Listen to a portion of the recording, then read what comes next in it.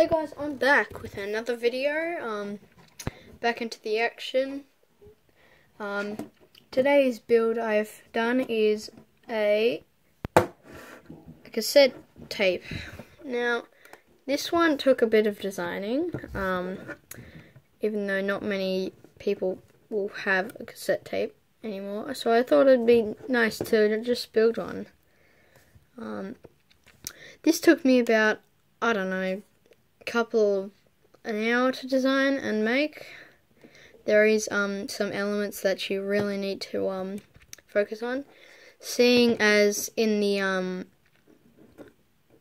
in the when I was looking at the uh, tapes, the um, circles inside them were covered up, so I had to design that so make sure the um, they'd look inside so they'd be covered over, not outside of it. And I think it turned out well. I found a piece for that gap there. I was really worried about that. Um,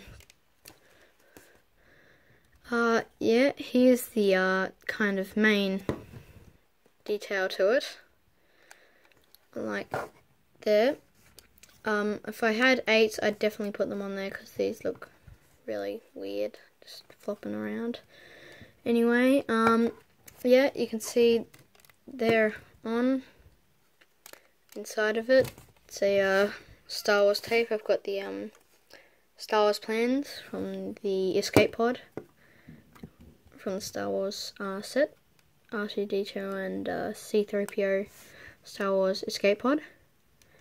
And yeah, so I have been watching a bit of Guardians of the Galaxy, and I thought, oh, I'd really want um, Star Lord, aka Peter, um, and I thought I should get one of his tapes.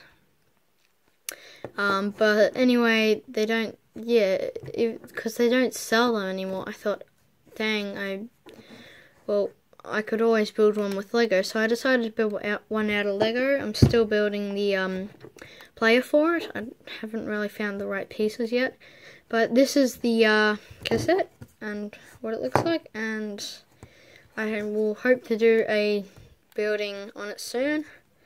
So that's all for today. I'll be back next time with another build. See ya.